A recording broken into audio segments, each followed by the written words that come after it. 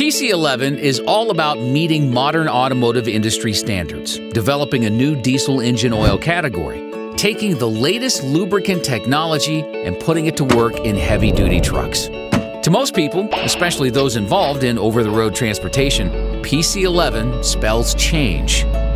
In December 2016, owner operators and fleets will begin switching to PC11 compliant oils, and those oils are designed to outperform current CJ4 oils, improving oxidation resistance, shear stability, and aeration control.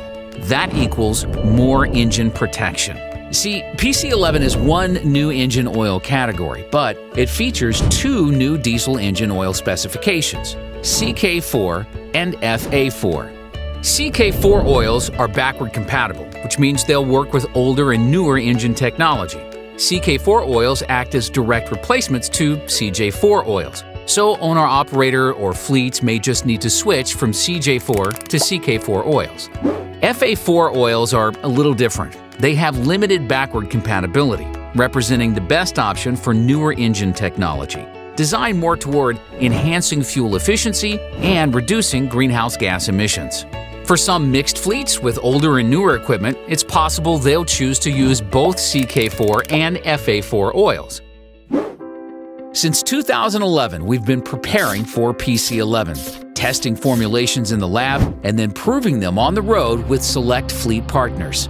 You can depend on our technology and our 90 year history of innovation. Even with lower viscosity options, we found that both CK4 and FA4 oils provide improved engine protection compared to CJ4 oils. And having less engine wear will reduce unscheduled maintenance and boost uptime.